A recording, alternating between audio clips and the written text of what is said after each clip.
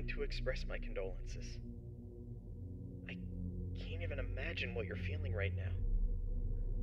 Thank you, Henry. Without a doubt, this is a tragedy. I'm sorry, William. If there's anything I can do. It's too late for that. It's too late for everything. I know. I've lost people too. I know what it feels like to feel that the world is coming to an end. No, you don't. You have no idea what it's like to lose a child. You have a perfect life. Your happy family. You don't know anything.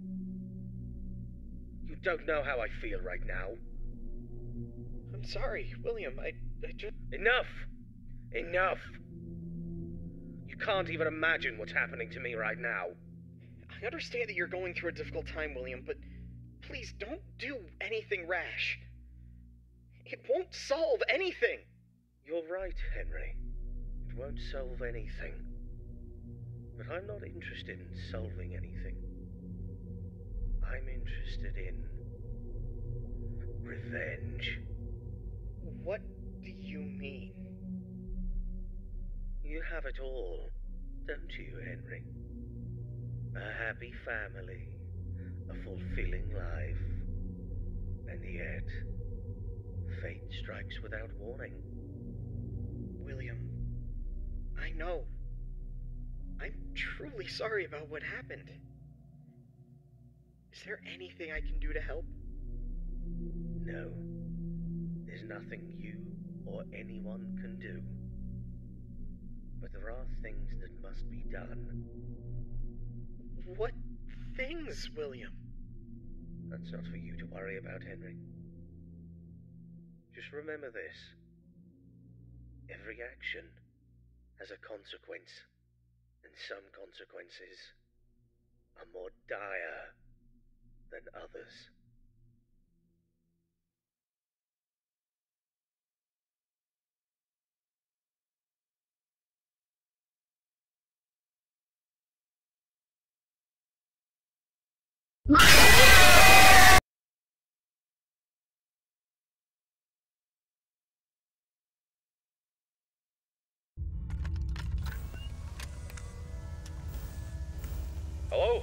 Hey, good job, night five.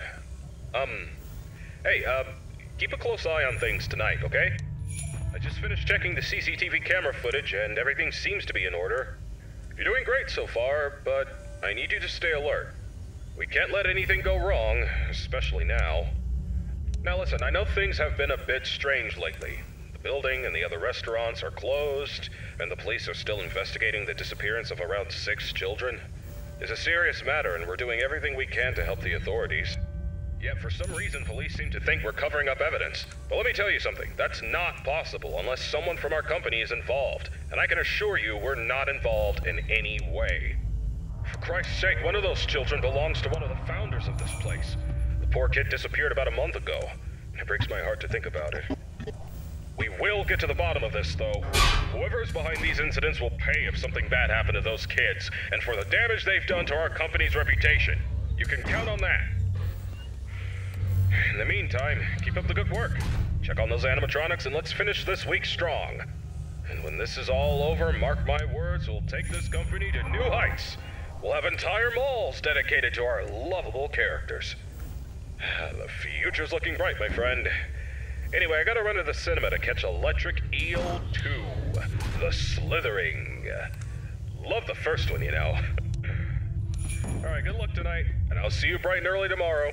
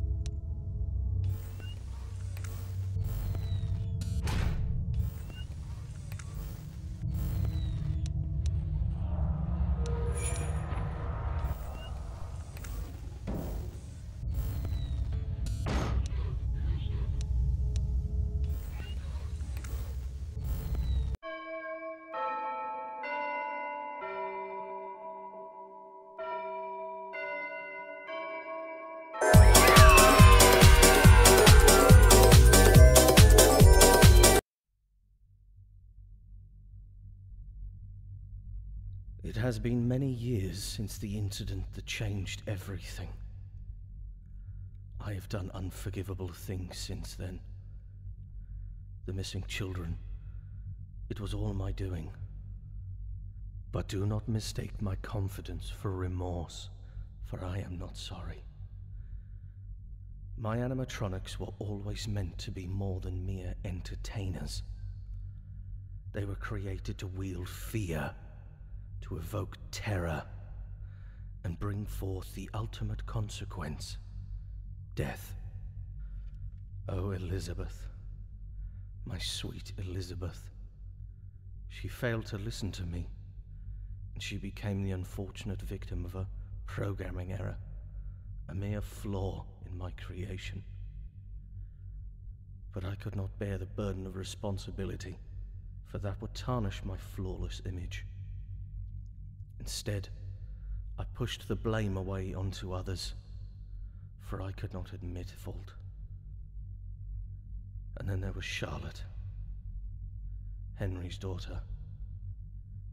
I could not bear to see him bask in all his happiness and receive all the credit for our work. My jealousy consumed me, and I had to take matters into my own hands. Do not think for a moment that I fear the consequences of my actions. I am not guilty, not in my mind. I meticulously crafted the evidence to make it appear as though Henry was the one responsible, for I had bigger plans in mind. Plans that require my full attention and dedication. I have built a new place for my new creations. A place that will instill wonder and fear into the heart of all who bear witness. And soon, I will reveal what is coming next.